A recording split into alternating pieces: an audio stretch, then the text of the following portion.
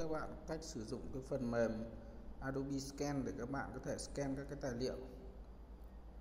Thì để sử dụng cái phần mềm này, trước tiên thì các bạn sẽ thể truy cập vào công cụ CH Play. Sau đó là ta vào cái phần, cài đặt là ta sẽ tìm kiếm cái từ khóa là Adobe Scan. Và bấm vào cài đặt. Đây là một những phần mềm cho phép chúng ta scan các cái tài liệu và đặc biệt nó còn có khả năng cho phép ta nhận dạng các văn bản.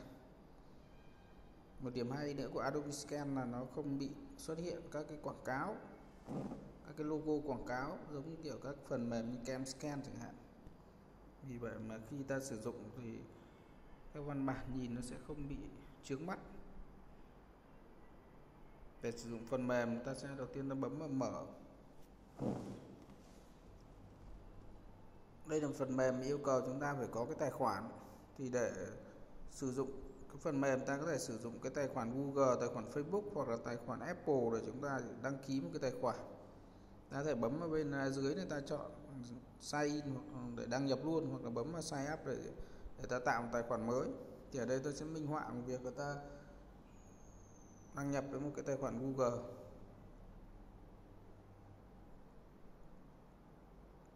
Đây, tôi chọn cái tài khoản thứ ba này.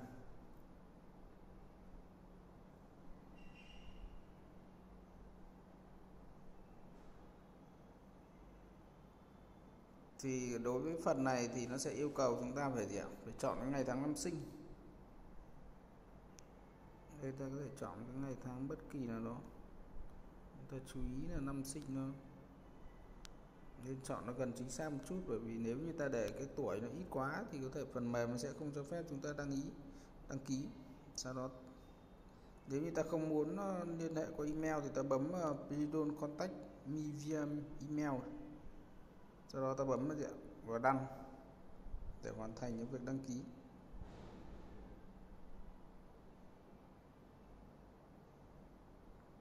Như vậy là ta đã hoàn thành xong cái việc đăng ký một cái tài khoản trên phần mềm Adobe Scan sau đó ta sẽ bấm vào continue để ta bắt đầu sử dụng. Phần mềm sẽ báo cho chúng ta là gì? Ta có thể tiếp tục sử dụng cái phần mềm. Ta sẽ bấm vào Let's Go. Và để có thể scan tài liệu thì ta phải bấm vào nút cho phép để phần mềm có thể truy cập vào camera. Thì ví dụ bây giờ tôi, minh họa tôi sẽ scan cái lịch chẳng hạn, thì tôi sẽ bấm vào cái việc chụp ảnh trên màn hình của điện thoại. Cái Adobe Scan này nó hay là khi chúng ta scan nó sẽ cho chúng ta chỉnh lại các góc cạnh của tài liệu và cắt đi những cái phần thừa như ở đây.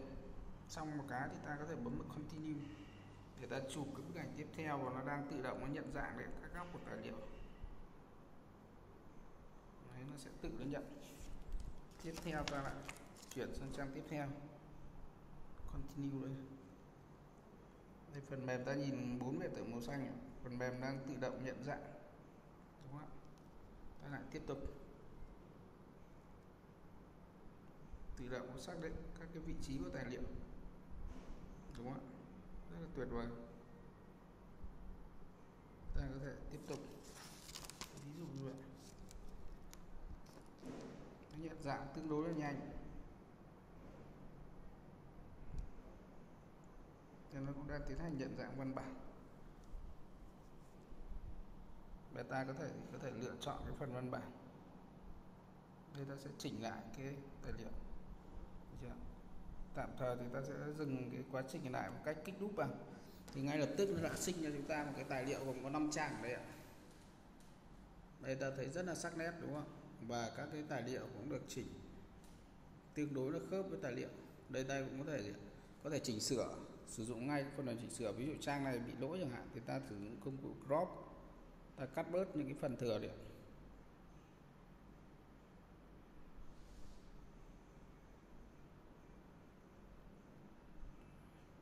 Những cái phần mà không nằm trong cái phần mà chúng ta muốn đưa vào thì ta có thể dùng công cụ là ta crop đi, sau đó ta kích vào trên để ta ghi nhận lại.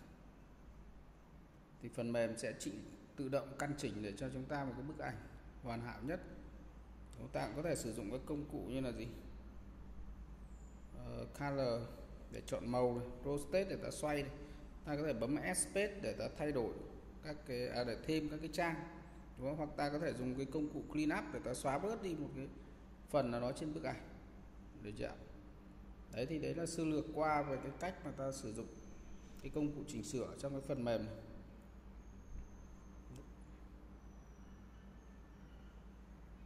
Đấy, sau khi xong thì chúng ta có thể đặt lại tên cho cái bài scan này. Đúng không? Cho cho cái file này. Người ta đặt tên là file lịch chẳng hạn.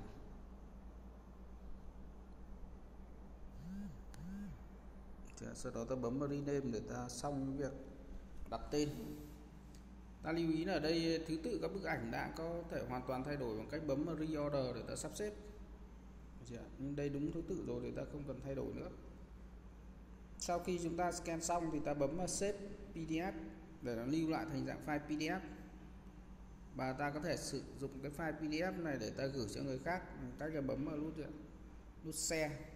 Đúng không? ta có thể lấy link hoặc là gì, hoặc là gửi qua email. Hoặc là chia sẻ với bạn copy vân vân, đúng không ạ? Nếu ta muốn lưu vào điện thoại thì ta có thể gì? bấm vào more này. Sau đó ta chọn nó copy to device để chọn cái nơi mà ta sẽ lưu trên điện thoại. Thì ở đây là lần đầu sử dụng nên ta phải đồng ý để cho nó truy cập vào các cái thư mục của chúng ta đó. Vì ta có thể lưu vào cái mục ờ, các cái tệp đã tải xuống chẳng hạn, để về sau ta sử dụng. Được chưa ngoài ra thì ta cũng có thể gạch, gửi thẳng nó vào Google Drive. Đây ta chọn cái tài khoản Google Drive của chúng ta để chúng ta có thể lưu lại. Ta bấm vào lưu đấy còn có chức năng khác ví dụ lưu thành dạng file ảnh vân vân. Để chưa? Đấy, trong trường hợp chúng ta muốn tiếp tục scan thì ta có thể biểu bấm vào cái biểu tượng gì tượng cái máy ảnh để ta tiếp tục gì tạo thêm các cái bức ảnh khác.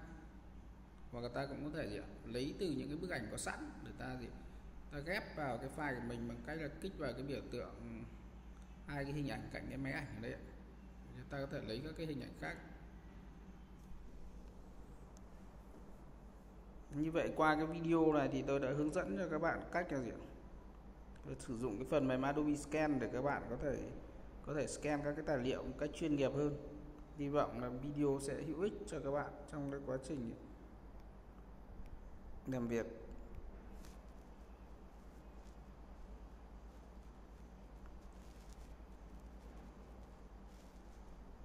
Xin chào và hẹn gặp lại các bạn ở các cái video tiếp theo.